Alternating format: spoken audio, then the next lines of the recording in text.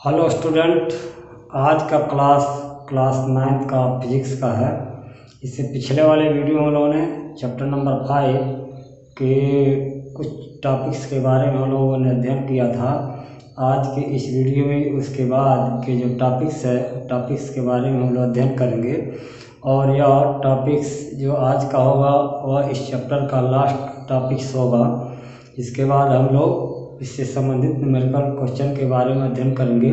तो आइए देखा है टॉपिक्स का। है टॉपिक्स आपका है, देखिए।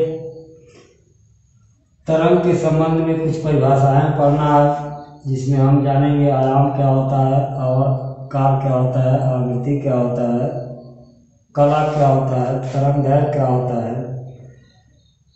तरंग का वेग क्या होता है तरत्व के बारे में जानेंगे। ध्वन की तरंगों के आवृत्ति के आधार पर वर्गीकरण के बारे में जानेंगे। और ये आपका होता है श्रव्य, अपश्रव्य, पराश्रव्य तरंगे। तो आइए देखा जाए आयाम क्या होता है। आयाम के बारे में अगर जानना हो तो हम आसानी से समझ सकते हैं कि किसी माध्यम में होने पर, किसी माध्यम में संचरण होने पर माध्यम का कण परिसाम स्थिति के दोनों ओर जितना अधिकतम स्थापन होता है, उस दूरी को ये क्या कहते हैं? आयाम कहते हैं। जैसे आप देखिए, ये आपका अधिकतम विस्थापन हो रहा है। तरंग संचरण दिखाया गया है। तरंग के संचरण की दिशा को दर्शाया गया है। इस कंडीशन में दोनों ओर देखिए, अधिकतम जो विस्थापन होगा, वही उसका क्या कहलाएगा? आयाम कहलाएगा। तो देखिए क्या लिखेंगे? आयाम आयाम को जा सकता है किसी माध्यम में तरंग संचरण। किसी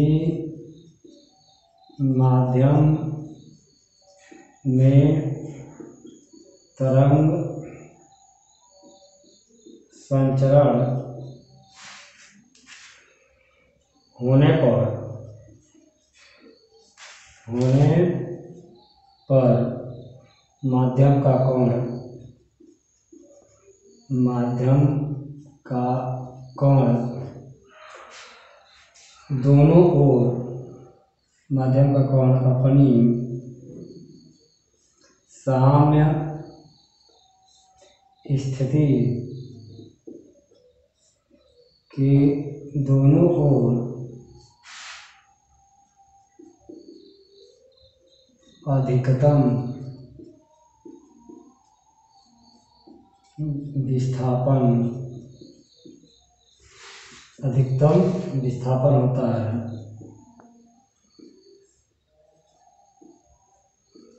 इस अधिकतम विस्थापन को आयाम कहते हैं। आयाम कहते हैं। आयाम को इस्तेमाल से प्रदर्शित किया जाता है। ये हो गया आयाम। आयाम के बाद आवर्त काल। आवर्त काल। आवर्त काल को डिफाइन करना हो तो आसानी से हम डिफाइन कर सकते हैं। यानी किसी भी माध्यम में तरंग संचरण होने पर एक कंपन पूरा करने में जितना समय लगता है, वही उसका आवर्त काल कहलाता है। जैसे यहाँ से यहाँ आया, आधा हुआ, यहाँ से यहाँ आया, पूरा हुआ। तो पूरे चक्कर लगाने में जितना समय लगता है, वही उसका आवर्त काल कहलाता है। तो क्या लिखेंगे? किसी माध्यम में, किसी माध्यम में तरंग संचरण होने पर माध्यम का कोई कण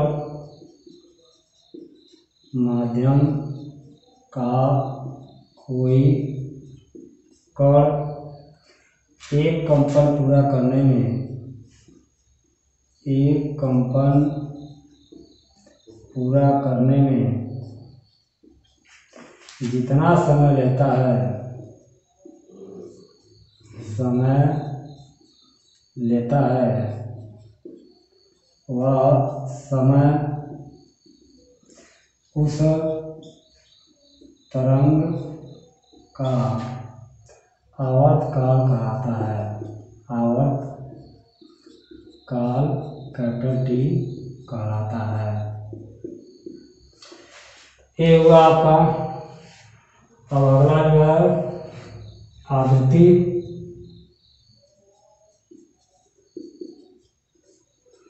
आवृत्ति को डिवाइड करना हो तो क्या कर सकते हैं एक कोई प्रकार का जो है, एक सेकंड में जितना कंपन करती है, वही उसका आवृत्ति कहलाता है। तो यहाँ लिख सकते हैं किसी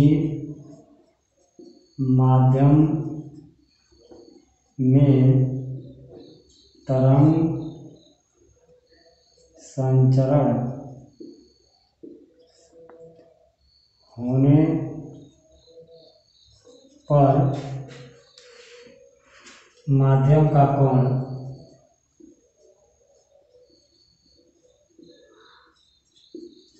एक सेकंड में जितना चक्कर लगाती है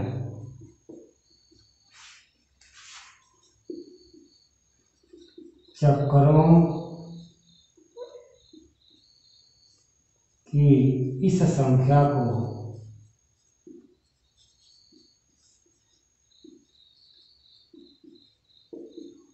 आवृत्ति यन कहते हैं।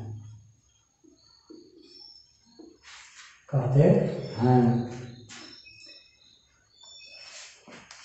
इसका मात्रक इसका मात्रक हर्ट्ज होता है।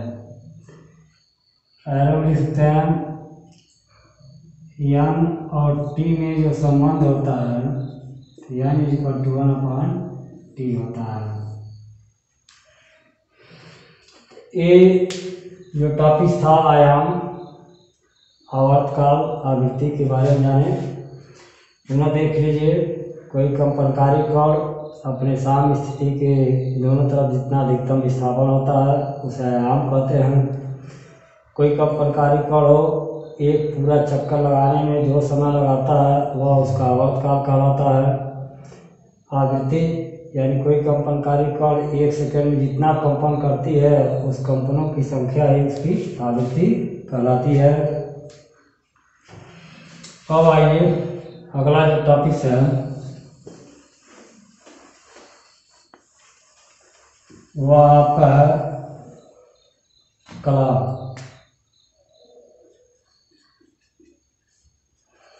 कला के बारे में कह सकते हैं क्या? कंपन करते हुए किसी कंपन करते हुए किसी कण की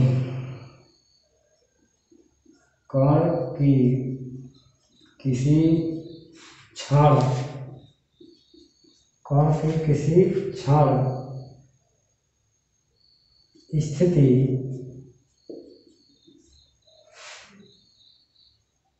स्थिति उस काल की, उस काल की कला कहलाता है।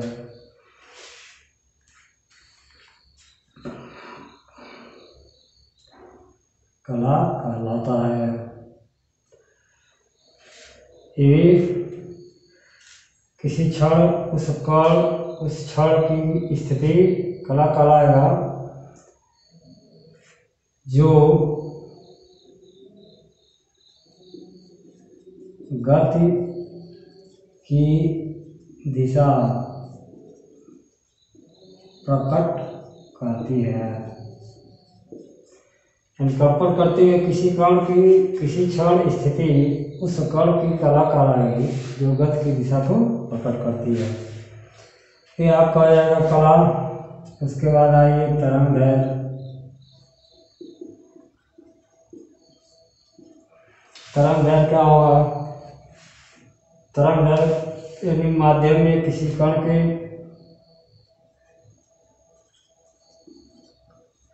माध्यम में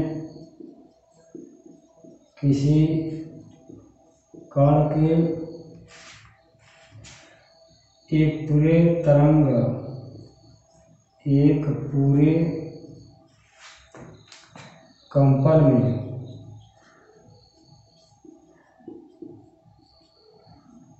तरंग जितनी दूरी तय करती है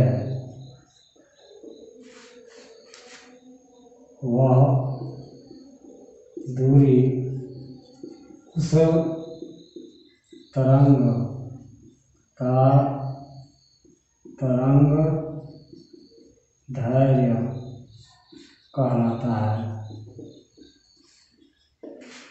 देख रहे हैं यानी यह आपका मैक्सिमा अधिकतम विस्थापन अधिकतम विस्थापन या जो बीच की दूरी है, जो तय करी गई है कंपन हो जाएगा तो यह जो बीच की दूरी होगी तो वही बीच की दूरी क्या कहलाएगी? तरंग धैर्य कहलाएगा।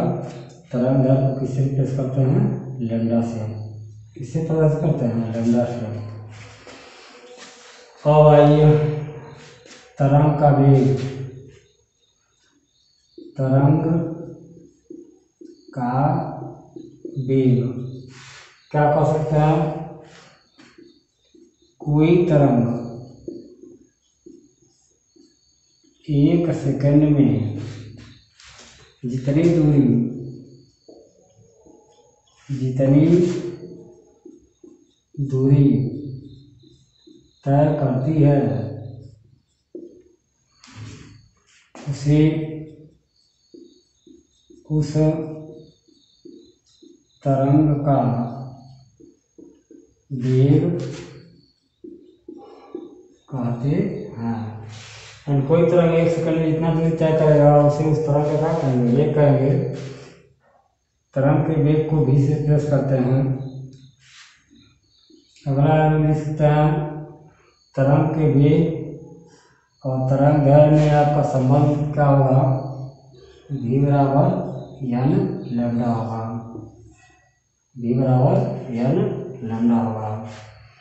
तो ये रहा तरंग के संबंध में कुछ परिभाषा है, जिसमें हम लोग जाने आयाम आवर्त का आवृत्ति, कला तरंग है और तरंग वेग अब जानेंगे हम लोग तारत्व।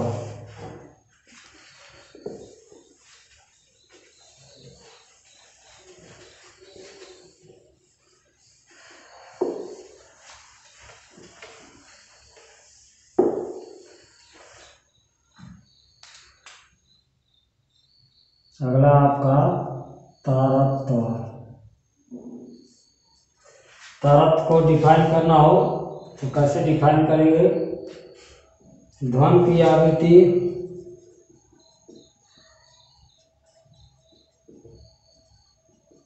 आवृत्ति जितनी अधिक होगी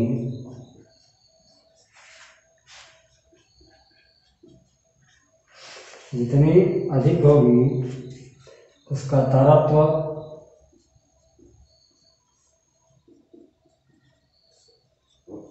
उतना ही अधिक होता है। यानी कहने का मतलब यह है कि जो तरत्व होता है ध्वन की आवृत्ति पर डिपेंड करता है। अगर ध्वन की आवृत्ति जो है अधिक होगी तो उसका तरत्व भी क्या होगा? अधिक होगा। अब आइए ध्वन तरंगों के आधार पर, आवृत्ति के आधार पर वर्गीकरण, यानी ध्वनि। अगला जो टॉपिक्स है, वो ध्वनि तरंगों के तरंगों के आवृत्ति के आधार पर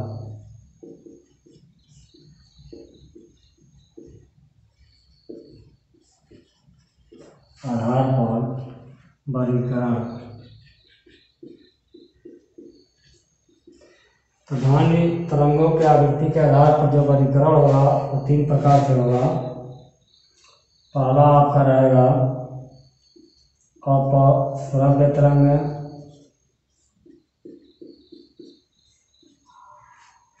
क्या कहेंगे ये तरंग?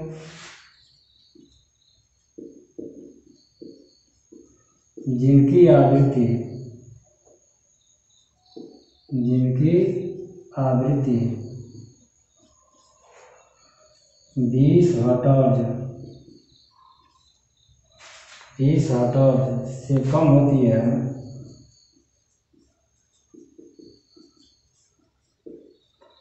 अपश्रव्य तरंग। कहलाती है।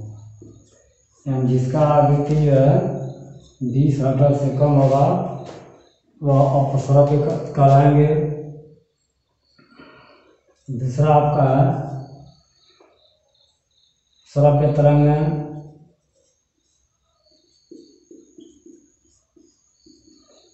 यानी वे तरंग जिनकी आवृत्ति बीस हर्ट्ज से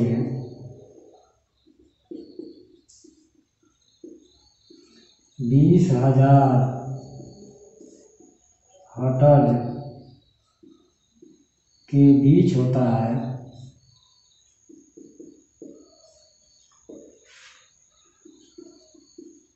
श्रव्य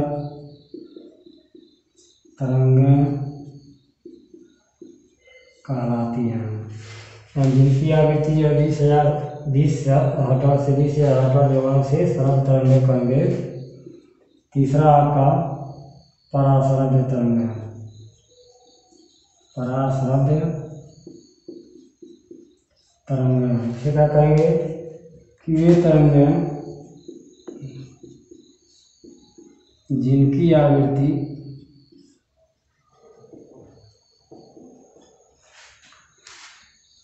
बीस हज़ार हटर से।